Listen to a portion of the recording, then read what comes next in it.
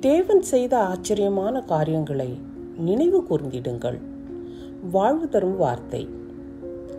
அவர் செய்த அதிசயங்களையும் அவருடைய அற்புதங்களையும் அவர் வாக்கின் நியாய தீர்ப்புகளையும் நினைவு கூறுங்கள் என்று சங்கீதம் நூற்றி ஐந்து ஆறு நமக்கு நினைப்பூட்டுகின்றது.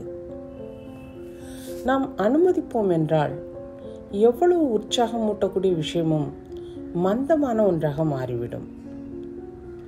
ஒரு விஷயத்தை செய்ய ஆரம்பித்த போது நாம் அதை உற்சாகமாக செய்ய ஆரம்பித்திருக்கலாம்.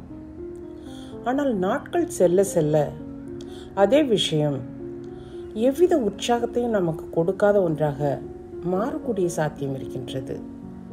ஒரு பெரிய விளையாட்டு வீரர் ஒருவரிடம் ஒரு முறை இவ்வாறு சொல்லியிருக்கிறார் என் வாழ்க்கை மற்றவர்கள் நினைப்பது போல இருக்கவில்லை.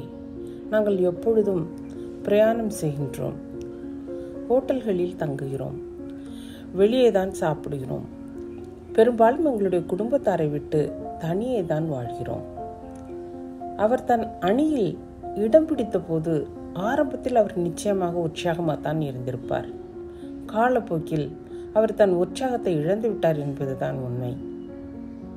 நீங்கள் உற்சாகமாய் செய்ய ஆரம்பித்த விஷயங்கள் இப்பொழுது மந்தமாக சென்று கொண்டிருக்கலாம்.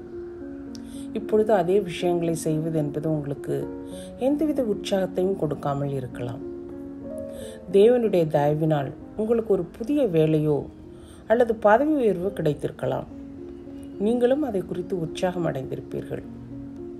தேவனுடைய தயவு தான் உங்களுக்கு அதை தந்தது என்பது உங்களுக்கு நிச்சயமாக தெரியும். உங்களுடைய நண்பர்களிடம் உங்களுடைய சந்தோஷத்தை பகிர்ந்து கொண்டிருந்திருப்பீர்கள். ஆனால் உங்களுக்குள் இருக்கும் அந்த ஆர்வம் குறையும்படி ஒருபொழுதும் இடம் கொடுக்காதீர்கள். உற்சாகத்தோடு ஒன்றை செய்ய ஆரம்பித்து ஐந்து அல்லது ஏழு வருடங்கள் ஆகியிருக்கலாம் ஆனால் அந்த ஆர்வம் ஒருபோதும் குறைய வேண்டாம். இதை ஒருபொழுதும் சாதாரணமாக எடுத்துக்கொள்ள வேண்டாம். தேவன் எவ்வளவு அற்புதமாய் இந்த வாய்ப்பை உங்களுக்கு கொடுத்தார் என்பதை நினைவு கூர்ந்து பாருங்கள். உங்களுடைய இருதயத்தில் அந்த சந்தோஷத்தை கிளறிவிட்டுக் கொள்ளுங்கள். தேவனை உற்சாகமாய் துதியுங்கள். அவர் உண்மையுள்ளவர் என்பதற்காக அவருக்கு நன்றி சொல்லிக் கொண்டிருங்கள். உங்களுக்கென்று அவர் வைத்திருக்கின்ற சம்பூரண ஆசீர்வாத வாழ்க்கையை நீங்கள் வாழும்படி உங்களுடைய நன்றி உணர்வை தேவனுக்கு காண்பியுங்கள். நன்றி ஜெபம் அன்பின் பரலோக பிதாவே என் வாழ்க்கையில் காண்பிக்கின்ற உண்மைக்காகவும் நல் தயவிற்காகவும் மக்கு நன்றி. நீர் நல்லவர். நான் உம்மை துதிக்கின்றேன்.